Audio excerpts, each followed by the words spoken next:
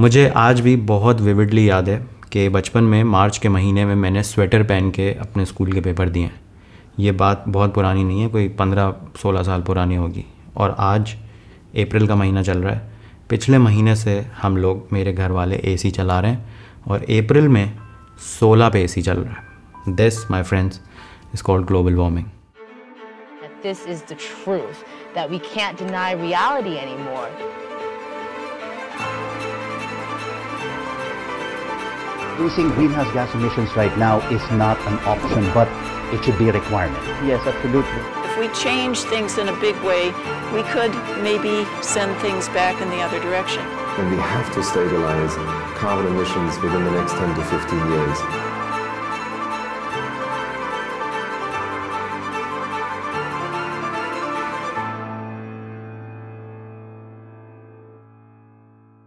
मैं सिब्बी का रहने वाला हूँ बलूचिस्तान का। और यहाँ पे जब गर्मी पड़ती है तो बहुत ज़्यादा मुश्किलातें पेश आती है हमें।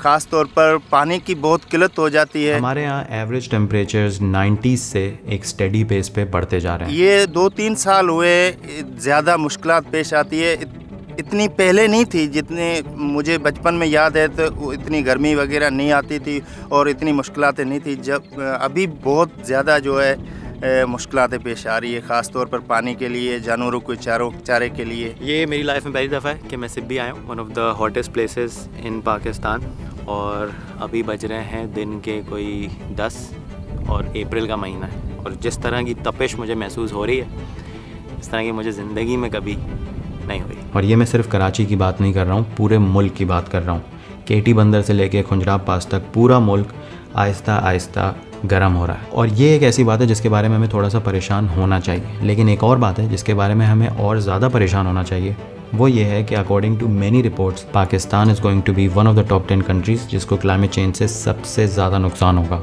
और साइंस हमारे सामने है।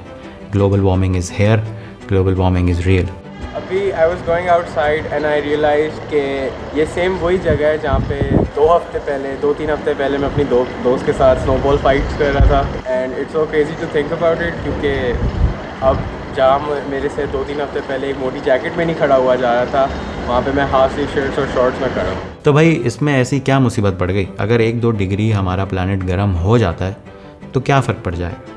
ये मैं आपको बताता हूँ। 2022 तक हमारे प्लानट का जो एवरेज टेम्परेचर इंक्रीज़ हुआ है compare to pre industrial times तो वो है 1.2 डिग्रीज सिर्फ़ 1.2 डिग्रीज में ये सब जो हम अपने आसपास चेंजेस देख रहे हैं this is just because of 1.2 अगर यही 1.2 डिग्री दो से चार पे चला जाता है तो हालात और ख़राब होंगे। बहुत सारे मुल्क ऐसे हैं जो रहने के काबिल ही नहीं रहेंगे। लेकिन अगर ये चार से आठ डिग्री पे पहुँच जाता है तो तब शुरू होगा असली अपोकलिप्स बहुत सारे रीजन्स रहने के काबिल नहीं रहेंगे। हीट वेव्स पे हीट वेव्स आएँगी। बहुत सारे मुल्क, बहुत सारे शहर अंडर वाटर हो जाएँगे। और ये सारी बातें सुन के शायद आपको लग रहा हो कि मैं फालतू का पैनिक क्रिएट कर रहा हूँ। अभी बहुत साल, अभी 100-200 साल हैं, आराम से पैनिक फैलाने की ज़रूरत नहीं है। लेकिन ये साइंस हमारे आगे पीछे हैं। आप बस थोड़ी सी नज़र दौड़ाएँ।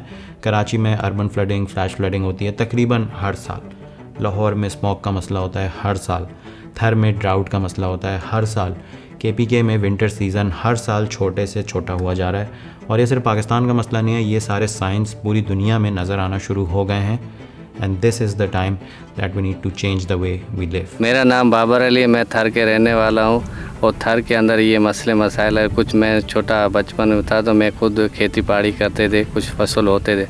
तो अभी एक दो सालों से नई फ़सल हो रहे हैं और बड़ी मुश्किलें हो रही है थर के अंदर। तो इसका सोल्यूशन बहुत ही स्ट्रेट फॉरवर्ड है सिंपल है, लेकिन आसान बिल्कुल भी नहीं है। जितना डैमेज हम कर चुके हैं, उसको रिवर्स करने में थोड़ी मेहनत तो लगेगी। तो सबसे पहली बात यह है कि आप इसके बारे में अवेयरनेस क्रिएट करें। बहुत सारे लोग हैं, मेरे सर्कल में बहुत सारे ऐसे लोग हैं, जो आज भी ये समझते हैं कि भाई सही है, ये चीज़ें सही हैं, लेकिन अभी इनको होने में कोई 500-600 साल लगेंगे तो आप चिल करें। लेकिन जैसा कि आपने देखा कि ये सब चीज़ें हमारे आसपास होना शुरू हो गई तो just create awareness about this और इसके अलावा आप कोशिश करेंगे इनफरादी तौर पे अपना कार्बन फुटप्रिंट जितना कम से कम कर सकते हैं, उतना करें, दरख्त लगाएँ, जितना हो सके।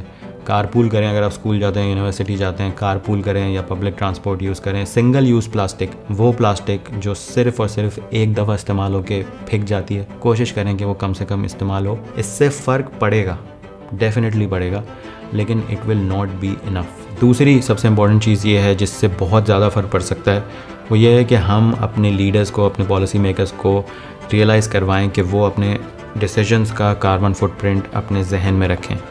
एक पॉलिसी बहुत ज़्यादा डिफरेंस क्रिएट कर सकती है, क्योंकि पूरी दुनिया में जो इंडस्ट्रीज़ सबसे ज़्यादा ग्रीन हाउस गैसेज प्रोड्यूस करती हैं, वो हैं construction transportation energy and food और फॉर ऑब्वियस रीजंस आप भी जानते हैं, मैं भी जानता हूँ कि इंडस्ट्रीज़ बंद तो हो नहीं सकती।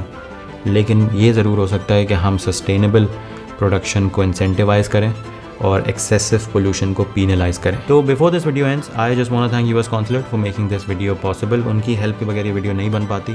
तो thank you US consulate for also allowing me the creative freedom जिसके थ्रू ये मैसेज मैं अपनी ऑडियंस तक पहुँचा सकूँ।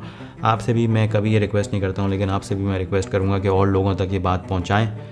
ताकि वो इसके बारे में कम से कम अवेयर तो हो सकें, तब क्योंकि पहले अवेयरनेस आती है, फिर ही चेंज आता है तो awareness is the first step